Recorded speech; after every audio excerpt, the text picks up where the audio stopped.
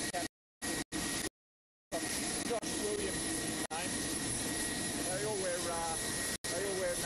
Uh, later today, two Chinese aircraft will be arriving and we expect them to join the search tomorrow and then Japanese aircraft arriving also tomorrow with the expectation that they will join the search perhaps Monday or Tuesday.